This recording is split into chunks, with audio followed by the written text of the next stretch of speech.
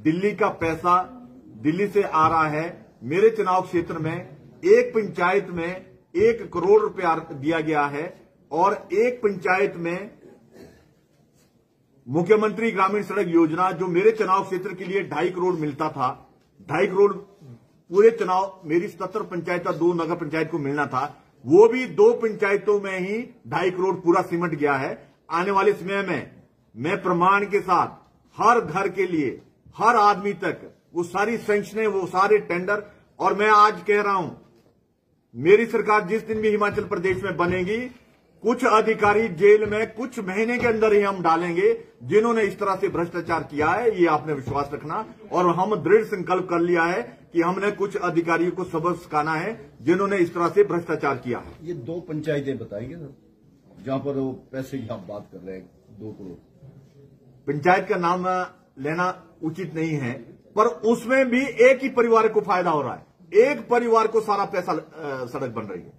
और अधिकारी भी दिन रात उसी सड़क को बना रहे हैं। उन अधिकारियों को भी आने वाले, अगर अभी 24 में हमारी सरकार बदली तो मैं विजिलेंस का चौकी थाना चौपाल में खोलूँगा।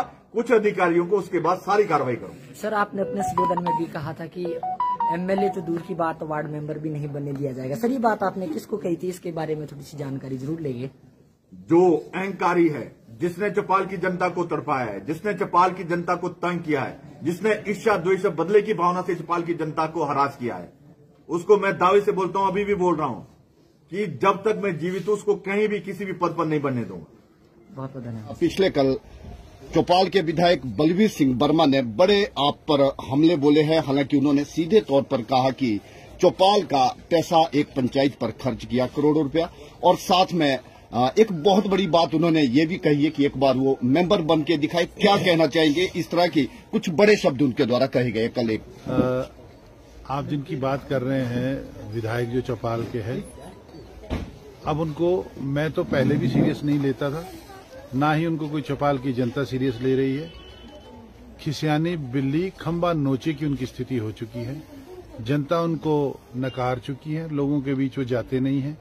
लोगों को जो उन्होंने झूठ के सपने पिछले 11 साल से दिखाए थे, उसमें वो एक्सपोज हो गए हैं। और जहाँ तक वो बात बोलते हैं कि कहाँ क्या हुआ, विधायक जी को अपने गिरेबान में झाँक के देखना चाहिए।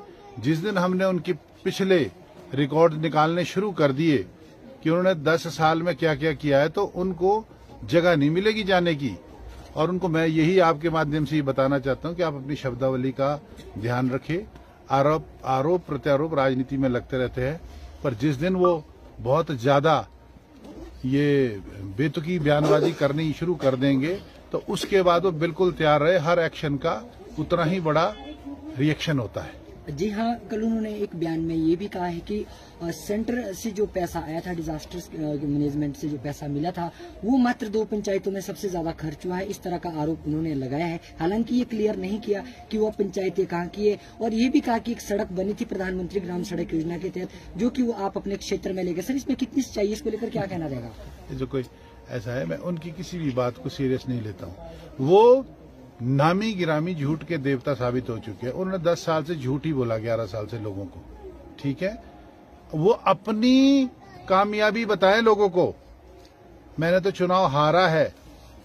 और जो उन्होंने उलट सुलट बातें की इक्कीस हज़ार लोग हमारे साथ खड़े हैं। आप उनकी भी तोहिन कर रहे हैं। और माननीय विधायक साहब इस बात को भूल रहे हैं कि उनके खिलाफ पैंतीस हज़ार लोगों ने वोट डाला है। उनके खिलाफ। वो चौपाल की जनता को मूर्ख नहीं बना सकते। इस बात का वो ध्यान रखे। ऐसी ऐसी शब्दावली का प्रयोग ना करे जिससे उनको डिफेंसिव नहीं होना पड़ेगा। अब वो एक पार्टी के अंदर एक प्रवक्ता के पद पे भी है। ऐसा ना हो कि उनको वो प्रवक्ता पद भी छोड़ना पड़े।